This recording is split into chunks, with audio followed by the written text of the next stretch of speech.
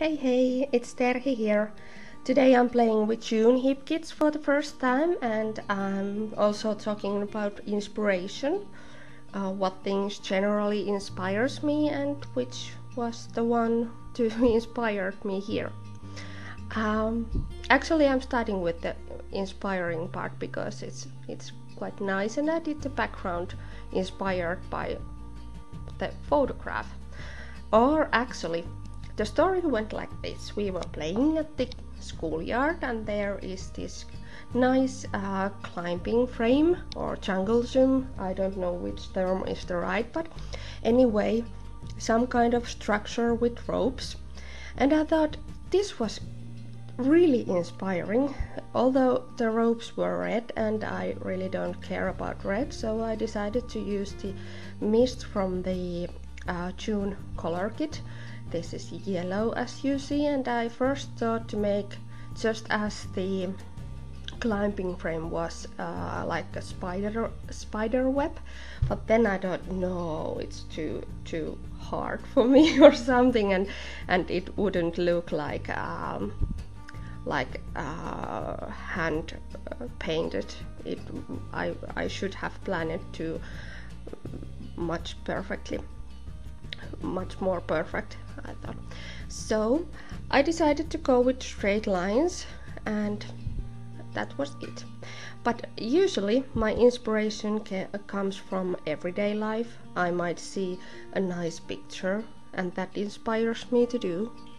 Uh, I might see some nice colors somewhere and that inspires me to do some kind of special colored background or something and what usually inspires me is the products I use, like these June kits.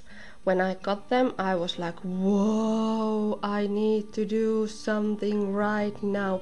I didn't even care if I have had a picture to scrapbook because I just wanted to play with the papers. It's like therapy for me. So I really, really enjoyed and I took some some really bright colored papers it's not this layout. But anyway and and thought to play with them and only with the papers.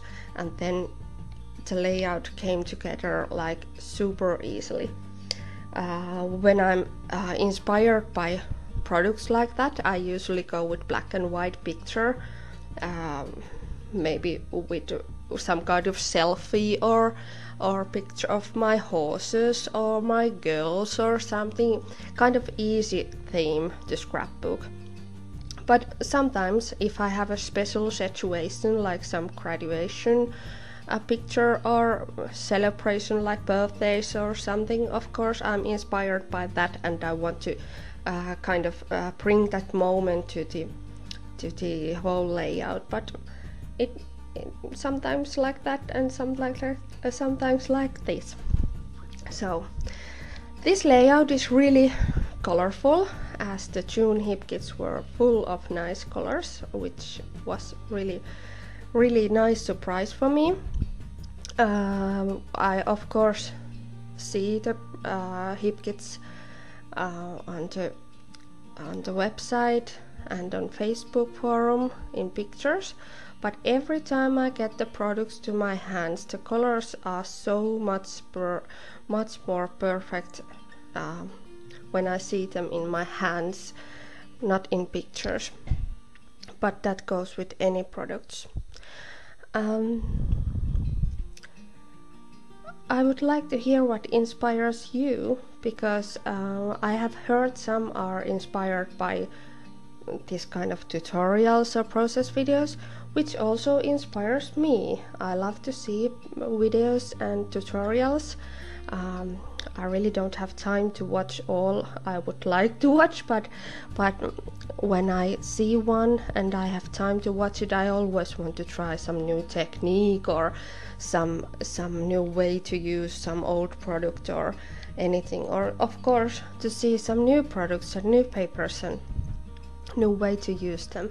So basically what I'm trying to say here is that I get my inspiration from everywhere. Everywhere I go and everywhere I do and everywhere I see and even sometimes the flower smells so good that I want to do some kind of blooms scrapbook layout just because the flower smells so good. So that was it, and I hope you get something out of my inspiration talking. So thank you for watching, and I hope we'll see you soon next week. Bye!